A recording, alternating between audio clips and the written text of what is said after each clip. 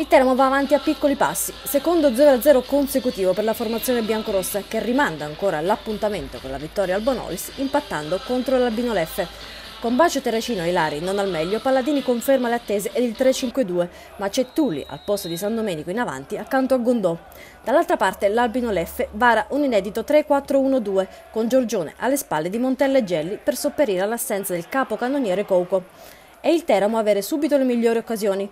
Tulli al settimo prova di inquadrare la porta con un tiro a giro di destro che sorvola di poco l'incrocio dei pali. Tre minuti dopo Gondò vede l'inserimento di De Grazia, ma il mancino è calibrato male.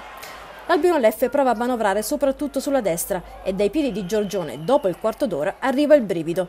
Il giocatore bergamasco colpisce la parte alta della traversa con Bifulco che aveva probabilmente battezzato fuori il pallone.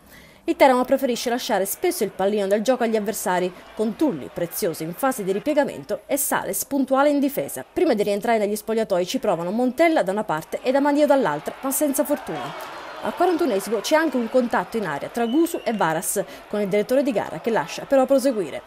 La ripresa si apre con un tentativo di De Grazia dalla distanza, su cui Coser ci mette una pezza, mentre gli ospiti si fanno pericolosi con uno schema da calcio di punizione che manda al tiro Montella, ma l'attaccante non inquadra la porta.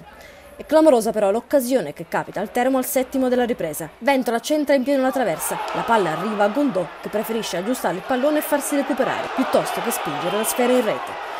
Paladini manda in campo Bacio Terracino al posto di Amadio e vira al 3-4-3, giocandosi anche le carte di San Domenico e Fratangelo.